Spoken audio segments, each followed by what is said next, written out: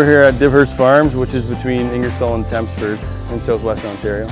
We're doing a tour today with two bloggers, and uh, I'm sure it'll be interesting to show them.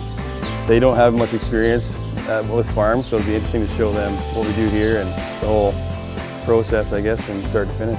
I want to see how the animals live, how they're taken care of. I'm really interested in the environmental aspect and just learning more about how the farm operates um, and you know building that connection between what we eat at home and like a local Ontario farmer.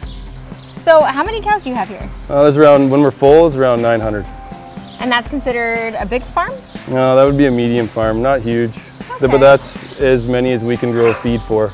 That's So cool that's- that you grow feed to feed them. So everything is done on farm. You don't have to ship anything in. That's And, cool. and what do they eat?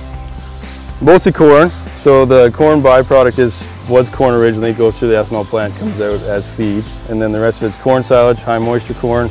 We're grinding a bit of dry corn now, so it's just corn, different forms of corn. What goes into caring for them though while you're raising them? My dad, he does most of the pen checking. He's really good at it.